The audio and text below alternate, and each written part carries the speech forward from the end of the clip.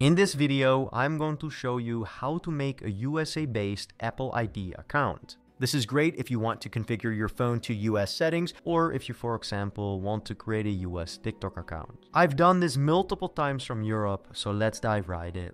The first thing you want to do is get a subscription for NordVPN for the dedicated IP address. They able to download NordVPN on your PC and right here you will see your dedicated IP address showing up, which for me is set to the United States. So I can click on this and command number get the US IP address that is only used by you. And the reason why this dedicated IP address is so important is because it's different from normal VPNs. Dedicated IPs are only for you and undetectable. Now for NordVPN, I will leave a link down in the description and it'll bring you on gifts page. Right here you want to click get NordVPN and here it's important that you choose any plan that you want and then here at extra services you want to add a dedicated IP to this. So once you connect that you can go to iCloud.com and then you want to click on create Apple account. And here we will just set up our Apple account and I would recommend to just use some dummy information. So I will fill this in right here. So here just stating your information with an email address you have and then made sure the country is selected the US.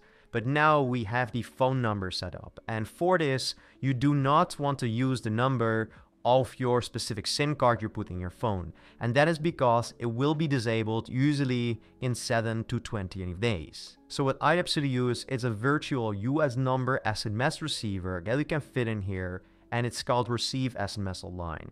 Again, I will leave a link down in the description for you to create your account from where you can rent your own phone number. So I have it right here. As you can see, this is the phone number I'm renting.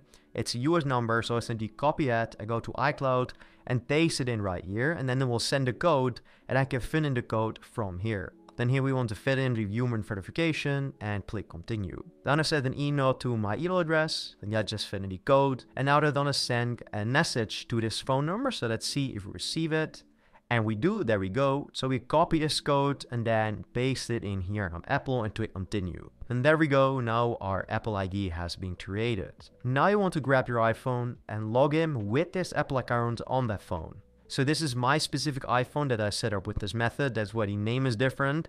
But basically what you want to do, you want to go to your Apple ID account, And I go to payments and shipping. And I write here, as you can see for the billing address, I just set up a random address in the United States, in Michigan, if you find any address online on websites and then just use that, and then it will be configured to the United States. And many people keep getting errors saying could not create account. This could have to do with using a raw virtual number, the device fingerprint, or the VPN trustworthiness. And for that reason, I'm also offering fully working pre-made USA Apple ID accounts. It comes pre-made, so there's no hassle for you creating the account, and it costs 19 euros and works worldwide. In case you'd want that, I'll leave a link down below. With all of that being said, have an amazing rest of your day.